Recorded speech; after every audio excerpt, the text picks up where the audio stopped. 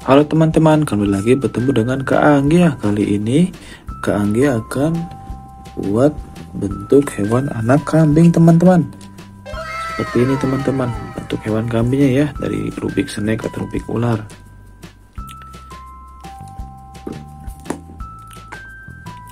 Badannya ya, ekornya, kepalanya, tanduknya.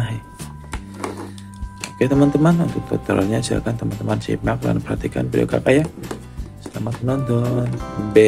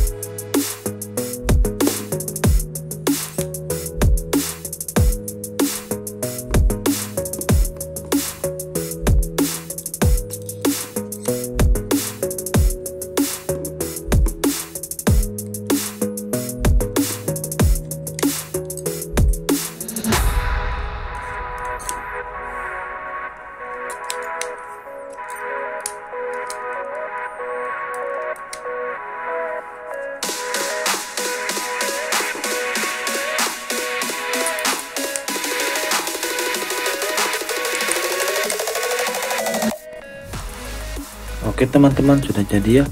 Daripada anak kambingnya teman-teman. Lumayan rumit ya. Tapi kalau diperhatikan sangat gampang ya.